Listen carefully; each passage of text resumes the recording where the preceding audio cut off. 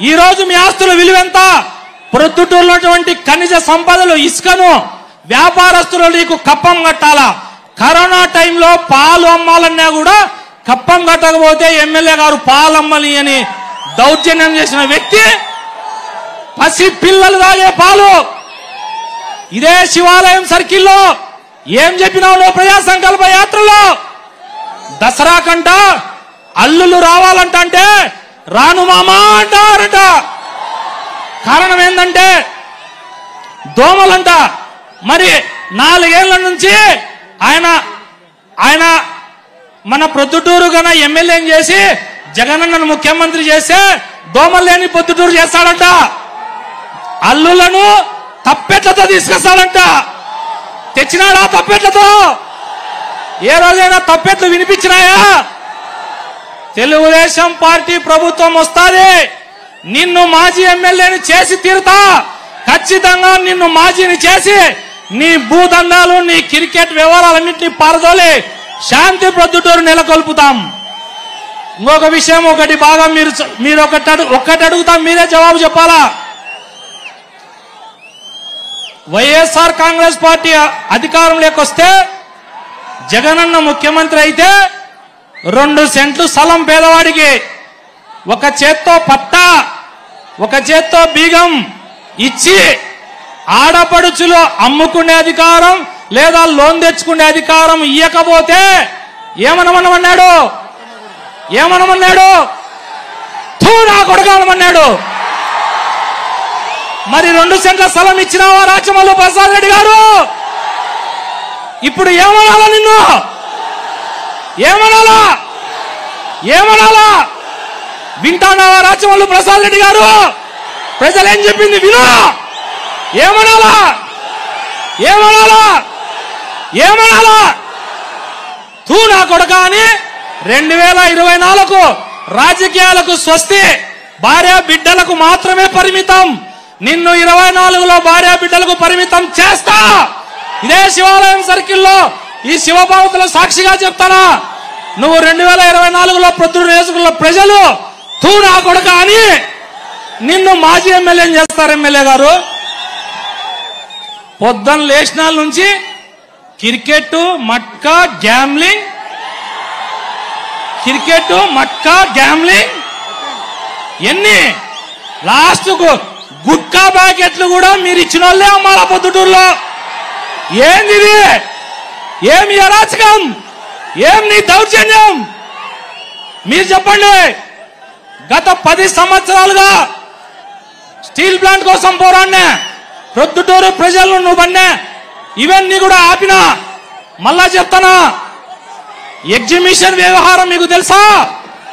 ముప్పై రూపాయలు ఉండే టికెట్ ఫ్రీ అని చెప్పి లోపల డెబ్బై రూపాయలు ఉండే జైంట్ వీళ్ళు నూట యాభై రూపాయలు పెట్టి మూడు కోట్లు పేద ప్రజల సొమ్ము కబ్జా చేసి నువ్వు నీతులు మాట్లాడతావా? ఎప్పుడో సావు శివాలయం సర్కిల్కు చర్చా వేదిక పెడదాం. నువ్వు కూర్చో ఎదురుగా. నేను ఒక్కనే వస్తా. రా నువ్వు చర్చకు దమ్ముంటే. ఇంకొకటి ఆలోచన చేయండి ఒక్కసారి. జగన్మోహన్ రెడ్డి గారు ఇదే శివాలయం సర్కిల్లో. ఇలాగే జగనన్న నాకు ఏం మంత్రి పదవి వద్దు? నాకు సంవత్సరానికి ఐదు వందల కోట్లు ఇయ్యన్నా. నువ్వు రామునివైతే నీ గుండెల్లో నేను లక్ష్మణునన్నా అని ఇట్లా రొమ్ములు చీల్చి ఇట్లా రొమ్ములు చీల్చి రొమ్ములు చీల్చి జగనన్నా అన్నావు. నీ రాముడు ఏమైనాడు రమ్మంటూ ఐదు వందల కోట్ల నిధులు వేయలేని దమ్ము లేదా నీకు? ఎన్ని కోట్ల నిధులు తెచ్చినావు? మున్సిపాలిటీలో కమిషనర్ అడ్డం పెట్టుకొని కరోనా టైంలో రెండు కోట్లు ఆయన రెండు కోట్లు ఫాగింగ్ చేసిన దానికి అయిపోయిందంట. మరి ప్రజలకు ఇచ్చిన హామీలు ఏమైనాయి? కుందు పెన్న వరద కాలువ కలుపుతాడంట. ఏమైందయ్యా రాచమలు ప్రసాద్ రెడ్డి? కుందు పెన్న వరద కాలువ? చెప్పు కుందు పెన్న వరద కాలువ కట్టావా? అండర్ గ్రౌండ్ డ్రైనేజ్ తెస్తా అని చెప్పినావు తెచ్చినావా? లాస్ట్కు ఈ శివపార్వతుల మీద కూడా ప్రమాణం చేస్తే శివపార్వతులు భయపడి ఊరి పొరిమేరలకు పోయినారంట. ఈ రాచమల్లు ప్రసాద్ రెడ్డి చెప్పే అబద్ధాలకు ఈడ ఉంటే ప్రజలకు ఏదైనా కీడు జరుగుతాదేమో అని ఊరి బయటకు దేవుళ్ళు బారిపేటట్టుగా చేసినావు. నీకు సంబంధించిన ఒక మిత్రుడు చెప్తాడు చౌడమ్మ గుడి కాడికి వచ్చి ప్రమాణం చేస్తావు నందం సుబ్బయ్య మడ్డరు నాకు సంబంధమే లేదు. నేను చేయనే చేయలేదు. నా కుటుంబానికి సంబంధం లేదంటావు. రాత్రి ఇంటికాడికి పోతే నీ స్నేహితుడితో ఎమ్మెల్యేగానికి నూట ఎమ్మెల్యే అయ్యేదానికి నూట యాభై అబద్ధాలు కూతలు చెప్పాలా? దేవుడు ఎట్టా రెండు సార్లు ఎమ్మెల్యేనా? నా లక్షల కో- వేల కోట్లు సంపాదించే అవకాశం ఇచ్చినాడు. ఉంటే ఉంటా పోతే పోతా. ఈ మాటలు మాట్లాడుతుంటే నీలో నిజాయితీ ఉందా? నేను ఈరోజు కూడా చెప్తానా? నేను క్రమశిక్షణ కలిగిన తెలుగుదేశం పార్టీ కార్యకర్తను. నీలాగా క్యారెక్టర్ నీలాగా కమిట్మెంట్ నీలాగా తప్పుడు పనులు చేసే వ్యక్తిని కాదు. నేను ప్రొద్దుటూరు ప్రజలకు ఒకటే హామీ ఇస్తానా? శాంతి ప్రొద్దుటూరు నెలకొల్పుతా. ఎవడే గాని వ్యాపారస్తుల్ని ఒక్క రూపాయి కప్పం అడిగితే తాట తీస్తా. మీ అందరి సమక్షంలో చెప్తానా? ఇంకొక విషయం మీరు ఆలోచన చేయండి. రేపు జరగబోయే రెండు వేల ఇరవై నాలుగు ఎన్నికల్లో ఒక ఫైటర్ నేను స్టీల్ ప్లాంట్ కోసం బావా బామర్తుల అరాచకాల కోసం ఫైట్ చేసిన ఫైటర్ని ఫైటర్ వర్సెస్ లూటర్ నేను ఫైటర్ని నువ్వు లూటర్వి ప్రజల సొమ్ము ఖాళీ చేసిన లూటర్వి ఖబర్దార్ రాచమల్లు ప్రసాద్ రెడ్డి గారు గుర్తు పెట్టుకోండి time and tide stop for none కాలం అనేది నీ ఒక్కనికే కాదు. మాకు కాలం వస్తుంది. నీ మాదిరి తప్పుడు కేసులు పెట్టాను పద్నాలుగు కేసులు పెట్టావు నా మీద. పిల్లో అంటావు ఏం వణుకొచ్చిందా నీకు? ఎందుకు పెట్టావు తప్పుడు కేసులు? నా ఇరవై తొమ్మిది రోజులు నన్ను జైల్లో పెట్టి పైశాచిక ఆనందం పొందినావు నేను నువ్వు నా పైన తప్పుడు కేసులు పెట్టావు. నేను నువ్వు చేసిన తప్పులే బయటికి తీసి నేను జైలు పంపిస్తాం. గుర్తు పెట్టుకో రాజమల్లు ప్రసాద్ రెడ్డి గారు. సమయం తక్కువ ఉంది. ఫైనల్గా పృథ్వీ ప్రజలకు ఒకటి తెలియజేస్తున్నా. జగనన్న ప్రభుత్వంలో ఆర్బీకే అంటే రైతు భరోసా కేంద్రాలంట. పొద్దుటూరులో ఆర్బీకే అంటే R for Rachamallu B for నీ బామర్ది బంగారెడ్డి కే ఫార్ నీ అన్న కిరణ్ కుమార్ రెడ్డి.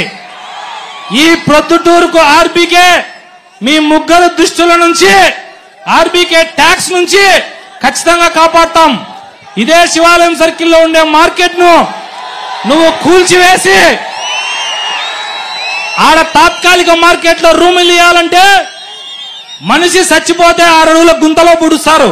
అట్టాటి ఆరు అడుగుల బండను ఆరు లక్షలకు అమ్ముకునే నీచమైన చరిత్ర మీదే. శాంతియుతంగా వ్యాపారస్తులందరికీ సహకరిస్తాం. నారా లోకేష్ బాబు గారి పాదయాత్ర నిజంగా నేను నా పూర్వజన్మలో చేసుకునే అదృష్టంగా భావిస్తున్నా. మా అన్న అడుగుజాడల్లో ఎంతవరకైనా పోరాడుతా నీ ఎంతైనా నేను ఎదురిస్తా. నువ్వంటాను నారా లోకేష్ బాబు గారి ప్రోగ్రాం నేను అడ్డుకుంటా అన్నావు నేను చెప్తానా నువ్వు ఏదైనా కవ్వింపు చర్యలకు పాల్పడితే నా తరువాతే నా తరువాతే మా అన్నకు గుర్తు పెట్టుకో రాచమల్లు ప్రసాద్ రెడ్డి. నీకు మళ్ళా చెప్తానా అభివృద్ధి వైపురా సహకరిస్తాం.